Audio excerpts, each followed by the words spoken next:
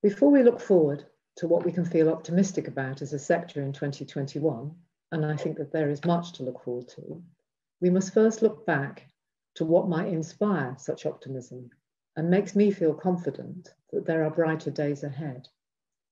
And that is the forbearance, dedication, ingenuity, and leadership of my colleagues and our students during some of the most challenging few months of our personal and working lives that I think any of us can remember.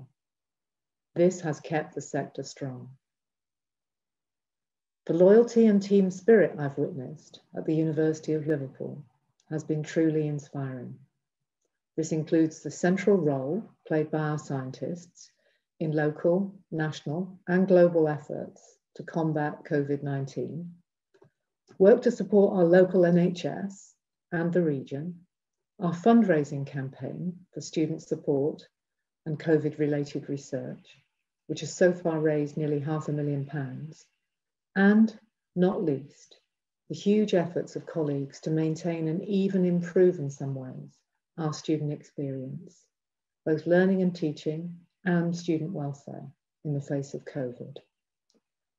No one knows for sure what 2021 has in store for us, and 2020 should have taught us to expect the unexpected. So I'm not going to make any predictions.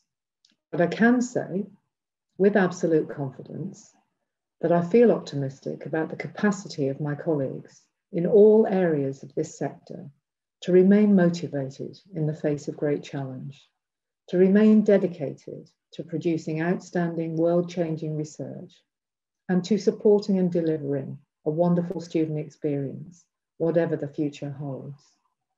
I feel optimistic because colleagues across the sector are working tirelessly to respond to the global challenges that society faces COVID 19 and infectious diseases, health inequalities, vaccine research, climate change, racial injustice, gender equality, child health, and mental and social well-being, to name but a few. It is the research across all disciplines in our universities which will continue to provide answers and help create global solutions which improve health, equality, and social justice for all. We can learn a great deal from each other in terms of what has been achieved this year under such extraordinarily difficult circumstances. And I am optimistic that this learning, dedication, and shared sense of purpose will take us even further in 2021.